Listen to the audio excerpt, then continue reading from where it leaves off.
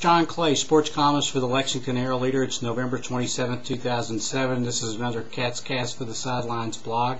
Kentucky plays Stony Brook tonight at Rupp Arena at 7 o'clock. Here are three things to look for.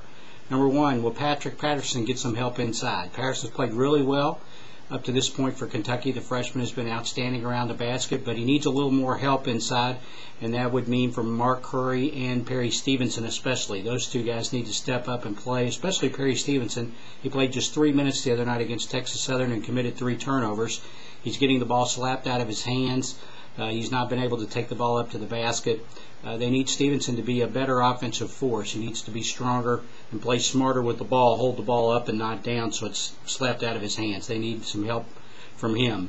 Uh, number two, uh, look for Alex Legion. Legion hasn't really hit his groove yet as a freshman. Uh, he hasn't shot the ball from outside as well as advertised.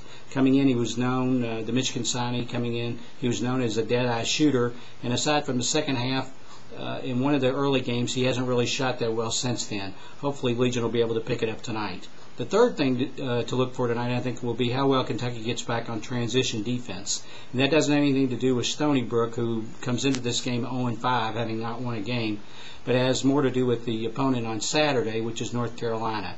And the Tar Heels like to run. They like to get the ball up and down the floor as everybody knows, the faster the better. And uh, to this point, Billy Gillispie has said he's been very unhappy with Kentucky's transition defense. They haven't been able to get back on defense the way he wants them to. Now, uh, surely will be one thing they'll be working on tonight because if um, to avoid getting blown out by the Tar Heels on Saturday, they're going to have to get back on defense. Those are three things to look for in tonight's game against Kentucky and Stony Brook at 7 o'clock. I'll be live blogging from Rupp Arena, so send me your emails and comments. And if you want more information on Kentucky basketball, please go to Kentucky.com.